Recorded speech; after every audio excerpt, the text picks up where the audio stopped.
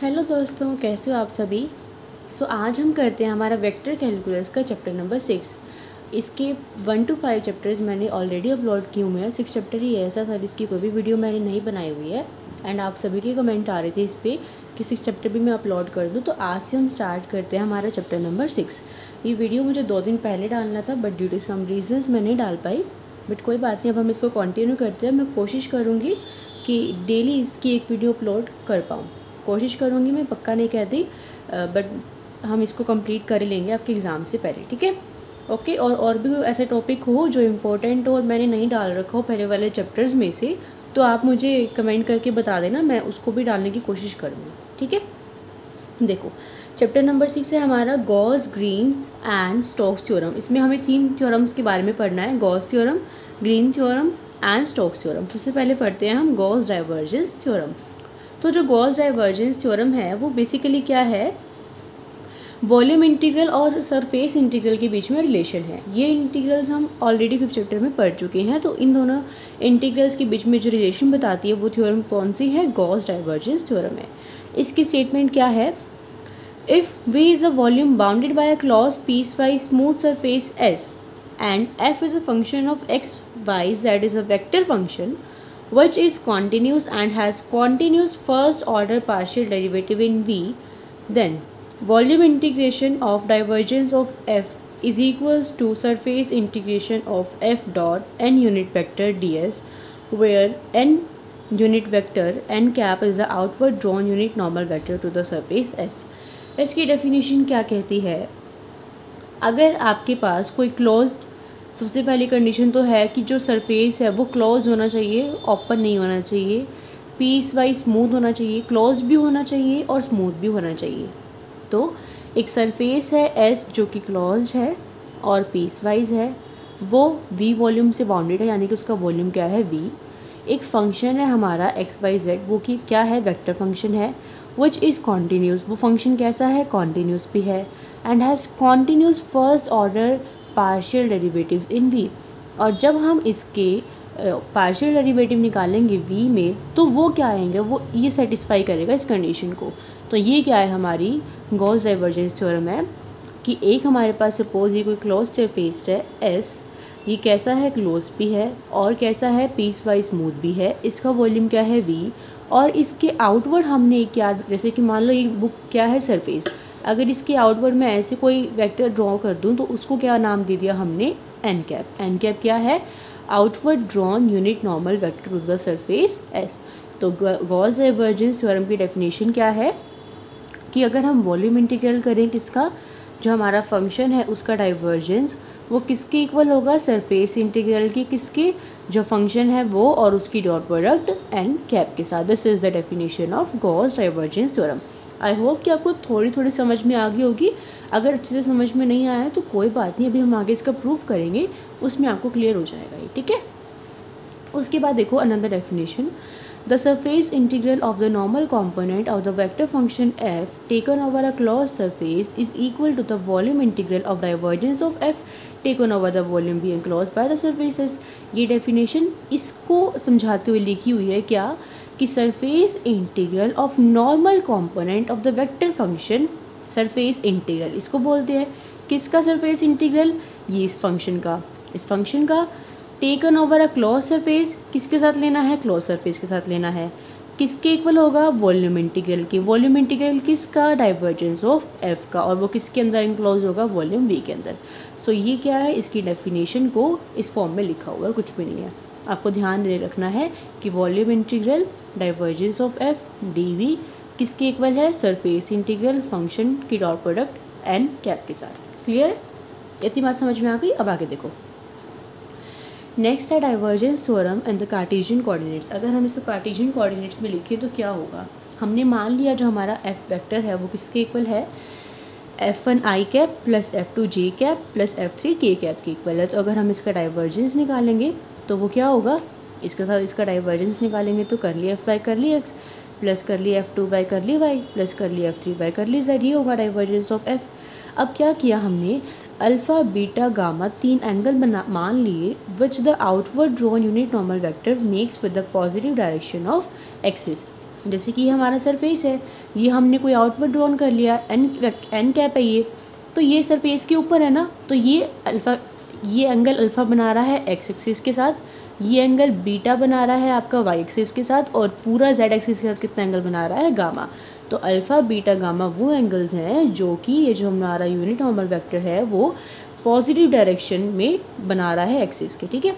तो अल्फ़ा बना रहा है एक्स के साथ बीटा बना रहा है वाई के साथ और गामा बना रहा है जेड के साथ क्लियर अब यहाँ पे आ जाओ। तो हमारा जो ये एन कैप होगा वो किसके इक्वल हो जाएगा? Cos alpha into i cap plus cos beta into j cap plus cos gamma into k cap क्योंकि ये एक्स वाई जेड के साथ एंगल बना रहा था तो एन कैप की वैल्यू हो जाएगी। अब इन दोनों की कर दो डॉट प्रोडक्ट हमारा एफ़ क्या था? F one i cap plus F two j cap plus F three k cap यही था।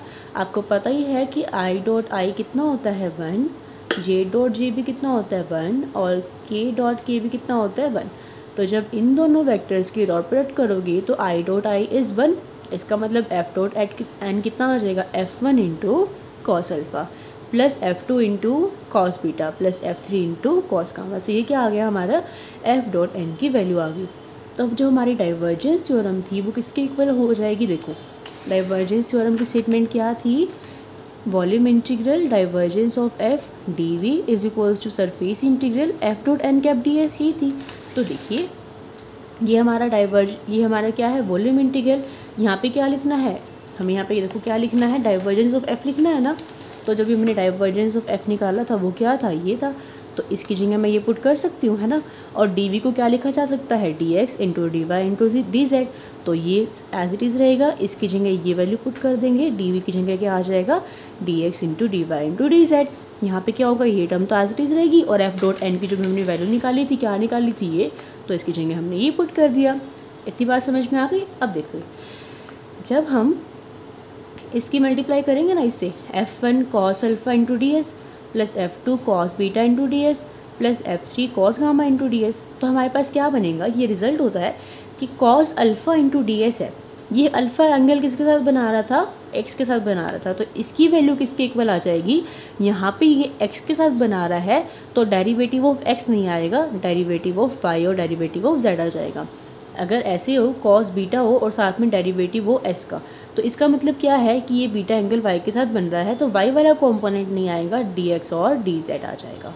अगर गामा है तो वो जेड एक्सिस के साथ बन रहा है तो डी एक्स डी वाई आ जाएगा।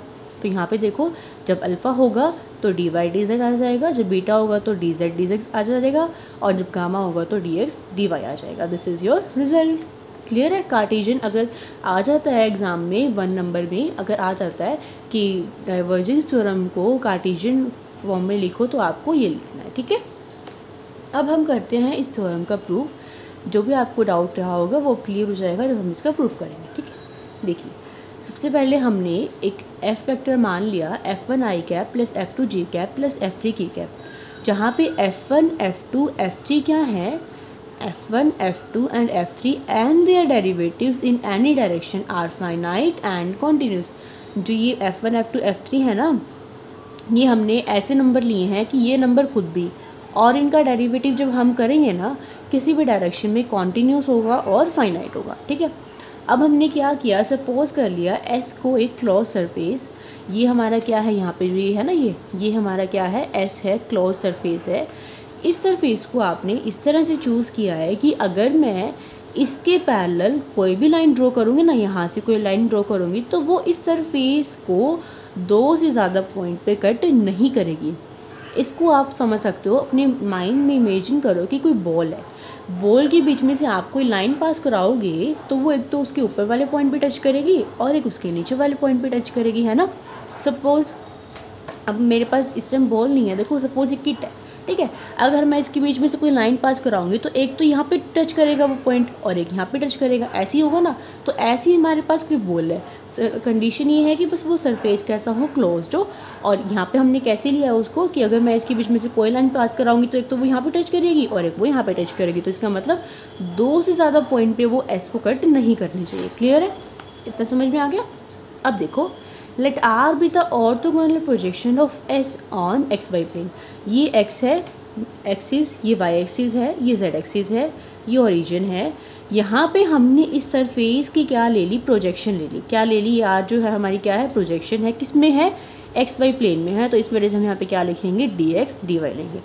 अब यहाँ से मैं अगर कोई लाइन जेड एक्सिस के पैरेलल ड्रॉ करती हूँ तो वो एस को दो से ज़्यादा पॉइंट पे कट नहीं करेगी, दो में कट करेगी। यहाँ पे ये लिख रखा है any line parallel to the z axis through a point of R meets the boundary of S and the two points clear है?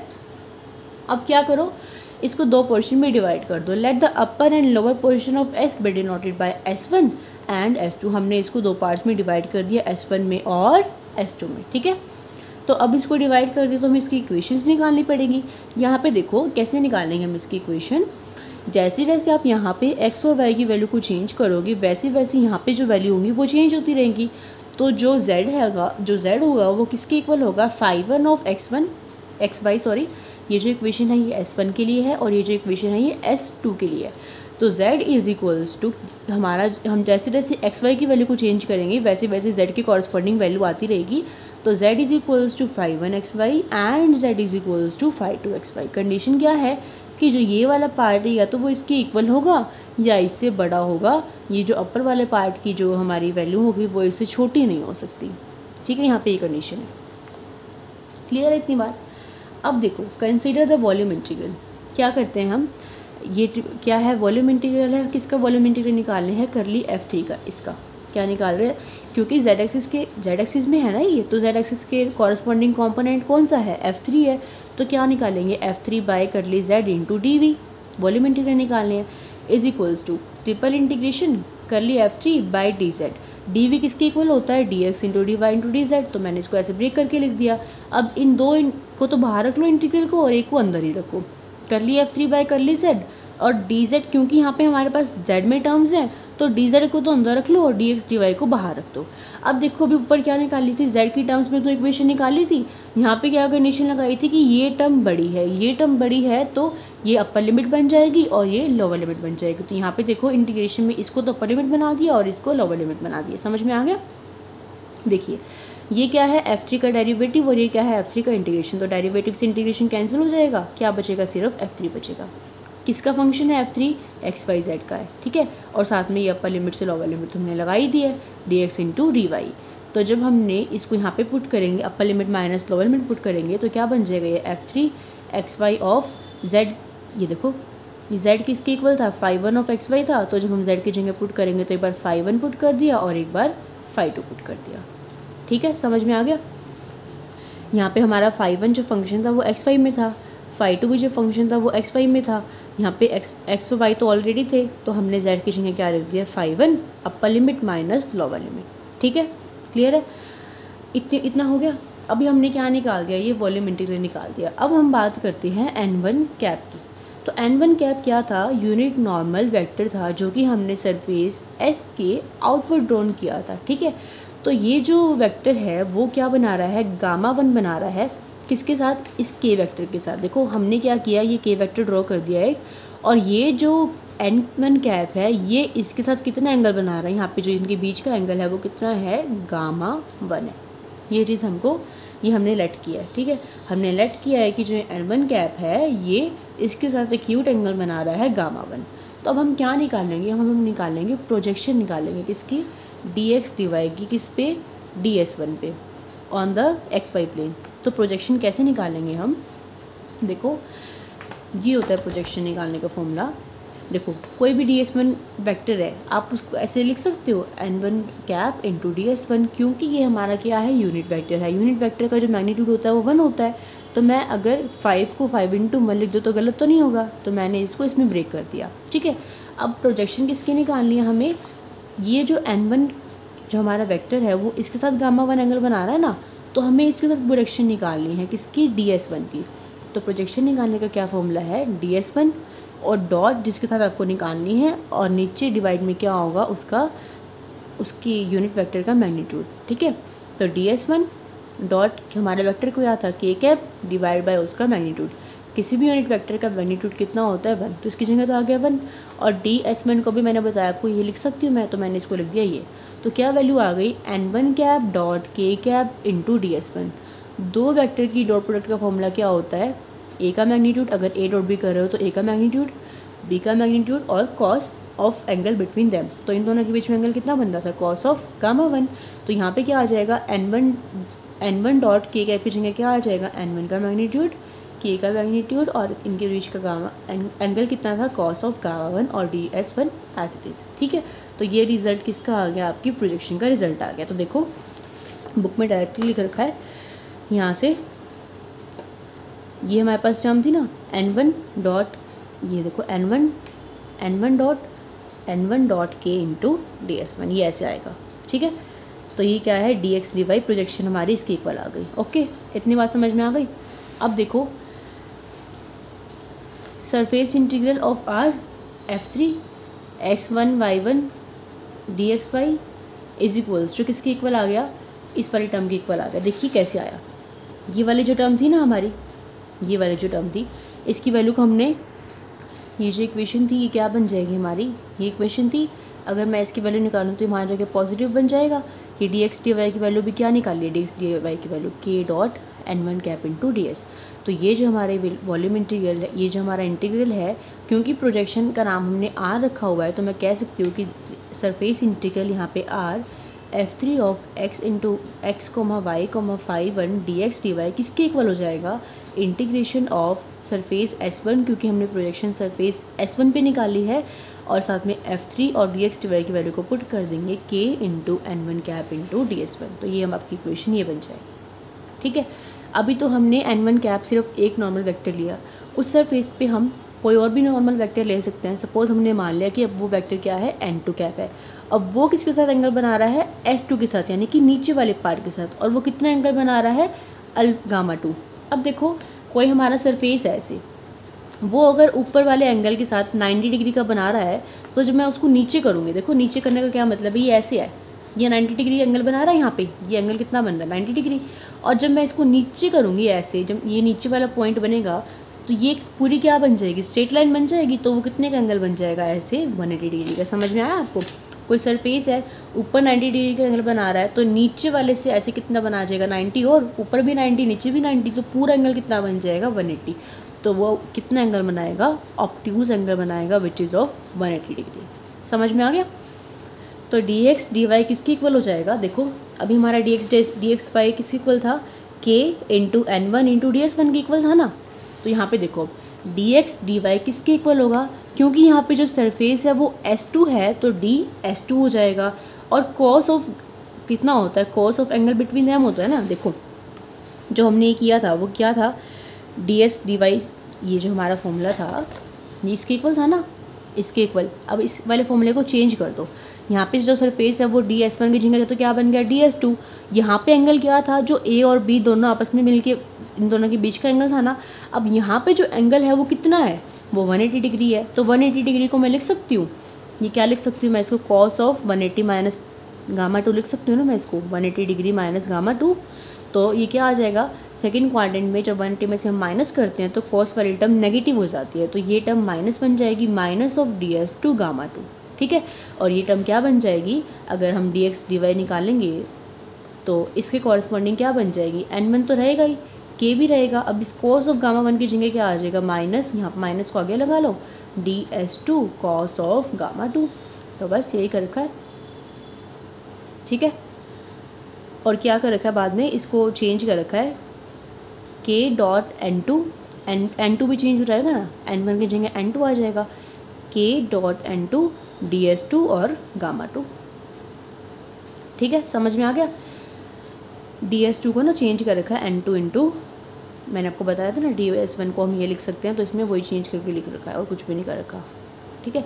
अब देखो, जैसे हमने आर वेक्टर को चेंज किया, इस वाले को इस वाले टर्म को चेंज किया था ना, अभी वैसे इसको करेंगे तो क्या आएगा?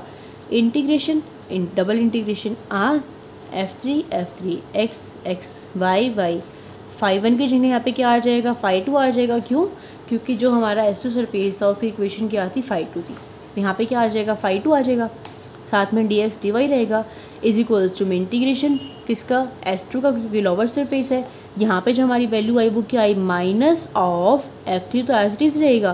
के के की जगह के ही रहेगा और एन वन की जगह क्या बन जाएगा? एन टू और डी एस वन की जगह क्या बन जाएगा? डी एस टू समझ में आया? देखो, कुछ भी नहीं किया हमने। पहले तो हमने एक्यूट एंगल बनाया। उसकी इक्वेशन बनाई। अब हमारा ये ऑप्टूज एंगल बन गया तो हमने डी एक्स डी वाई की वैल्यू को निकाल दिया। फिर हमने इसको प्रोजेक्शन की फॉर्म में लिख दिया। तो अब इन दोनों इक्वेशन का यूज़ करके हमारी जो फ़र्स्ट इक्वेशन है, वो क्या बनेगी देखो। सेकंड और थर्ड इक्वेशन का यूज़ करो फ़र्स्ट इक्वेशन में। ये थी फ़र्स्ट इक्वेशन क्या था? Integration F three of X Y into five one तो यहाँ से हमारी जो वैल्यू आई है, वो क्या आई है? ये आई है। ठीक है? और यहाँ पे माइनस में क्या है? फाइव टू और फाइव टू की वैल्यू क्या आई है, ये आई है। ठीक है? ये आई है ना तो जो फ़र्स्ट इक्वेशन होगी, वो क्या बन जाएगी? ये वाली टर्म प्लस ये वाली टर्म प्लस क्यों बनेगी? क्योंकि ये टर्म माइनस ये टर्म है और ये वाली टर्म ऑलरेडी माइनस है तो माइनस माइनस कितना बन जाएगा? प्लस और इस टर्म की लेफ़्ट हैंड साइड में क्या थी ये वाली टर्म तो इस टर्म की लेफ़्ट हैंड साइड तो एज इज़ रखी। इसकी वैल्यू पुट कर दी माइनस सेकेंड वाली टर्म की वैल्यू माइनस में थी तो माइनस माइनस प्लस बन गया। तो ये हमारे पास क्या आ गई? ये टर्म आ गई। समझ में आ गया? अब देखो एफ़ थ्री है एफ़ थ्री है के है के है। एन वन भी क्या है? Unit normal vector N two भी क्या है? यूनिट नॉर्मल वेक्टर तो जब हम एन वन की डॉट प्रोडक्ट करेंगे एन टू के साथ तो उसको मैंने क्या लिख दिया? एन कैप लिख दिया। यहाँ पे ये स्टेप नोट करने का है, ठीक है? हमने क्या कर दिया? इन दोनों को ऐड कर दिया। ठीक है? इतना हो गया clear similarly by taking projection of S on other coordinates अभी क्या किया हमने? सिर्फ़ एक्स वाई पे प्रोजेक्शन नहीं। अगर वाई जेड पे प्रोजेक्शन लेंगे तो जैसे अभी हमने एक्स वाई पर प्रोजेक्शन ली तो नीचे हमने जेड लिया। अगर मैं क्या करूँगी एक्स वाई में प्रोजेक्शन ले रही हूँ तो जेड आ रहा है। अगर एक्स जेड में प्रोजेक्शन लूँगी तो वाई आएगा और जेड वाई में प्रोजेक्शन लूँगी तो यहाँ पे एक्स आएगा। तो ये वाली वैल्यू कैसे चेंज होगी, ध्यान से देखना। जेड है यहाँ पे तो वेक्टर कौन सा आ रहा है? एफ़ थ्री जो जेड के कॉरस्पॉन्डिंग था। जेड है, देखो क्या होता है I J K X Y Z अगर जेड है तो कॉम्पोनेंट कौन सा आ रहा है? के और एन आ रहा है। अगर वाई होगा तो वाई के कॉरस्पॉन्डिंग जो वेक्टर होगा वो कितना होगा? एफ़ टू वाई के कॉरस्पॉन्डिंग ये क्या होगा? जे और एन एज इज़ रहेगा। एक्स होगा तो एफ़ वन बन जाएगा आई बन जाएगा एन और डी एस तो एज इज़ रहेंगे। समझ में आ गया? तो ये अगर हम कोऑर्डिनेट्स को चेंज कर दें तो ये वाली वैल्यू हमारी ये आ जाएगी। अब देखो एफ़ जो हमारा था, ये था ना? अगर हम इन तीनों को इक्वेशन को ऐड कर दूँ, इन तीनों को ऐड कर दूँ तो क्या बनेगा? देखो वॉल्यूम इंटीग्रल वॉल्यूम इंटीग्रल यहाँ पे क्या है कर ली एफ़ थ्री बाय कर ली जेड यहाँ पे क्या है कर ली एफ़ टू बाय कर ली वाई यहाँ पे क्या है कर ली एफ़ वन बाय कर ली एक्स साथ में क्या है तीनों के डी वी तो मैं इसको लिख दूँ कर ली एफ़ वन बाय कर ली एक्स प्लस कर ली एफ़ टू बाय कर ली वाई प्लस कर ली एफ़ थ्री बाय कर ली जेड तीनों में डी वी कॉमन है तो डी वी को लिख दो बाहर। ये टर्म आ गई। यहाँ पे आ जाओ डबल इंटीग्रेशन सरफेस इंटीग्रल है।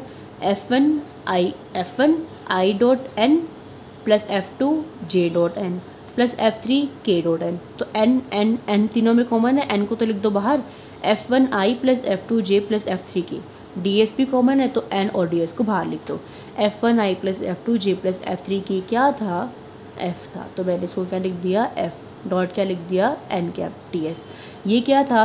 वॉल्यूम इंटीग्रल कर ली एफ़ वन बाई कर ली एक्स प्लस कर ली एफ़ टू बाई कर ली वाई प्लस कर ली एफ़ थ्री बाई इसको मैं लिख सकती हूँ डाइवर्जेंस ऑफ़ एफ़ तो हमने क्या प्रूव कर दिया कि volume integral divergence of F D हमारा किसके इक्वल है? इसके इक्वल है। यही क्या थी आपकी? गॉस डाइवर्जेंस की थ्योरम थी। क्लियर है? आप समझ में आ गया कि ये कैसे आया? इसका प्रूफ इतना इंपॉर्टेंट नहीं है। अगर एग्ज़ाम के पॉइंट ऑफ़ व्यू से मैं आपको बताऊँ तो आई डोंट थिंक कि एग्ज़ाम में पूछा जाएगा आपसे। ये इतना इम्पोर्टेंट नहीं है। जो इसके इंपॉर्टेंट टॉपिक होंगे, जो मैं आपको बता दूँगी साथ साथ मेनली जो एग्जाम्पल्स हैं ना, वो आते हैं। बट फिर भी मेरे को टॉपिक तो करवाना ही था तो मैंने करवा दिया आपको। अगर आप चाहते हो कि मैं आपको सिर्फ़ एग्ज़ाम के पॉइंट ऑफ़ व्यू से इंपॉर्टेंट एग्जाम्पल्स या क्वेश्चन करवा दूँ तो आप मुझे वो भी बता देना। जैसे ये जो ग्रीन सोन है मैं अभी देखो कितनी बार आई हुई है। तो ये आपकी इंपॉर्टेंट है, ठीक है? तो जो इंपॉर्टेंट होंगी, वो तो मैं आपको करवाऊँगी, ही करवाऊँगी। अगर आप चाहते हो कि मैं सिर्फ़ इंपॉर्टेंट ही करवाऊँ, बाकी ना करवाऊँ तो देखो वो आपको मुझे बताना पड़ेगा, तभी मुझे पता चलेगा ना कि आप क्या चाहते हो। तो आप मुझे वो बता देना, ठीक है? ओके? तो फिर अगर आपको वीडियो समझ में आ गया हो, पसंद आ गया हो तो मुझे बता देना कमेंट में। कुछ भी समझ में नहीं आया हो तो वो पूछ लेना, ठीक है? अगर चैनल पर नए हो तो चैनल को सब्सक्राइब कर देना और अपने फ्रेंड्स के साथ भी शेयर कर देना। So see you guys in the next video till then bye bye take care keep watching keep studying